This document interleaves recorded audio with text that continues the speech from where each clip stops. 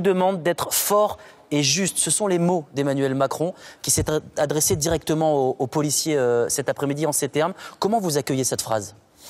Oui, euh, c'est un signal très fort de la part du président de la République que de s'adresser à un parterre de 500 euh, policiers et gendarmes et, de, et euh, policiers notamment, et, de nous dire que combien ils comprenaient la difficulté de notre métier et de nous dire combien ils comptaient sur nous euh, pour euh, la sécurité de nos concitoyens et notamment pour soutenir la mise en place de sa police de sécurité du quotidien. Être fort et déterminé, ça ne nous pose aucun problème. Emmanuel Macron euh, a eu également cette euh, phrase. Euh, il veut, dit-il, rétablir le lien entre la police et la population. Qu'est-ce que ça veut dire concrètement Ce lien s'est fissuré ces, dernières années? Oui, il s'est fissuré notamment par la diminution importante des effectifs de, de, police et de gendarmes d'ailleurs, mais la réforme générale des politiques publiques a fait des dégâts considérables dans nos rangs. Euh, ce sont près de 10 000 policiers qu'on a perdus et donc on a reculé sur le, sur le terrain, laissant la place à, une, à des réseaux de délinquance et une rupture euh, avec la population puisqu'on allait dans ces quartiers-là que pour des interventions musclées et euh, le contact avec nos concitoyens ne se faisait pas comme, comme il serait souhaitable qu'il se fasse. Alors justement, pour tenter de, rétablir ce lien, Emmanuel Macron veut créer une police de sécurité au quotidien. Écoutez ce que dit le, chef de l'État. La police de sécurité du quotidien vise à sortir de l'opposition stérile entre police de proximité et police d'intervention. Répondre à ces attentes, ce n'est pas remettre en place une police de proximité avec des postes de police statiques dans les quartiers. Ce n'est pas, comme on l'a parfois dénoncé, aller jouer au football avec les jeunes. C'est au contraire exercer votre métier de policier qui représente une autorité qui conforte et qui rassure, mais qui rappelle aussi les règles de vie en société chaque fois que c'est nécessaire. Alors, on se souvient que la fameuse police de proximité créée par Lionel Jospin en 98 avait ensuite été supprimée par euh, Nicolas euh, Sarkozy. Elle revient donc en scène. Est-ce que c'est une bonne idée selon vous? Alors, elle revient en scène, pas exactement. D'ailleurs, euh, euh, le président dit euh, très clairement qu'il ne s'agit pas de remettre la police de proximité, parce que d'abord, elle ne serait pas du tout adaptée à, la délinquance qu'on connaît aujourd'hui. Les choses ont beaucoup évolué, notamment en matière de menaces terroristes. Mais il s'agit bien de, de, remettre en question le contact entre la police et, la population, c'est véritablement la colonne vertébrale de cette police de sécurité du, du quotidien.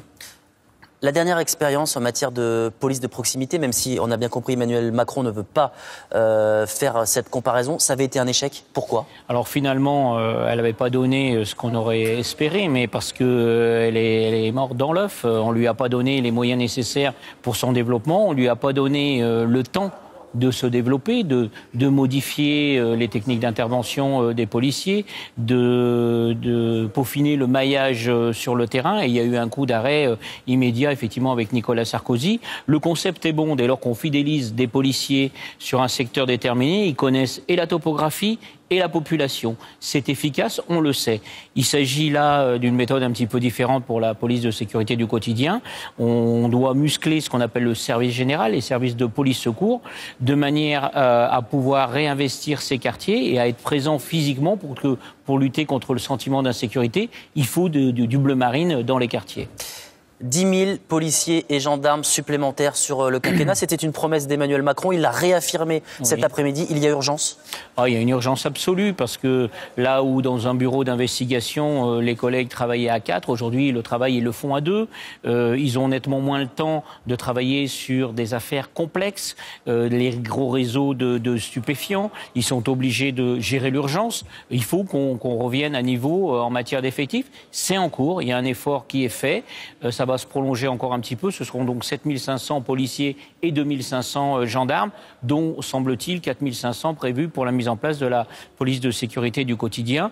Il faut renforcer, bien sûr, la filière du renseignement. C'est essentiel aujourd'hui pour prévenir euh, les tentatives d'attentats sur le sol français. Il y a beaucoup à faire. Autre élément, euh, la réforme annoncé par Emmanuel Macron promet de libérer les policiers de tâches inutiles et ridicules. Ridicule, c'est le mot employé tout à l'heure oui, par oui. Emmanuel Macron. à quoi fait-il référence exactement? Ah, écoutez, euh, il a fort bien choisi ses mots. Je peux prétendre que notre organisation syndicale lui a soufflé à l'oreille. Oui, Quelques exemples tâches- concrets. Quelques exemples concrets. La garde de bâtiment. La garde de bâtiment de type préfecture. Est-ce qu'aujourd'hui, c'est un gardien de la paix qui a fait, qui a passé un concours, 12 mois de formation en école, qui est là pour assurer la sécurité de nos concitoyens? Est-ce que c'est sa place de garder, euh, de faire le- le- la potiche devant euh, une entrée de préfecture Non, je ne crois pas. Il y a aujourd'hui euh, la vidéosurveillance. Il peut y avoir recours à la sécurité euh, privée. Le policier, lui, doit être euh, dans la rue pour faire son boulot, protéger nos concitoyens. Voilà un des exemples. Jusqu'à 7 ans de prison pour les auteurs de l'attaque d'une voiture de police. hein. Tout le monde se Ouais. souvient, les images avaient fait euh, le tour des réseaux sociaux en marge d'une ma- manif hein, contre la loi travail en mai 2016. Certains de vos collègues se sont émus de, de cette sentence, euh, pas assez sévère selon eux. Vous êtes d'accord? Oui, parce que, euh, en fait, plus précisément, c'est qu'il faut que les personnes soient déférées, il faut que la sanction euh, qui a été décidée euh, par les tribunaux soit effective. Euh, Il faut le- durcir le- les peines contre ceux qui s'attaquent aux policiers Oui, mais le président l'a dit très clairement. Aujourd'hui, c'est inacceptable que des policiers euh, prennent des pavés dans la figure, qu'il y ait des tentatives d'homicide, qu'on veuille les brûler vifs. Derrière un uniforme, sous un uniforme, il y a un homme, il y a une femme, il y a un père de famille qui est là pour servir la 7 ans, c'est pas suffisant. Non, mais certaines fois, 7 ans, c'est pas suffisant. Dès lors que euh, la volonté de tuer un policier euh, est avérée, il faut des sanctions fermes. Quand on s'attaque à un policier, on s'attaque à la République, on s'attaque à l'État, et c'est pas normal. Merci beaucoup d'avoir accepté l'invitation de, France plaisir. Info ce soir.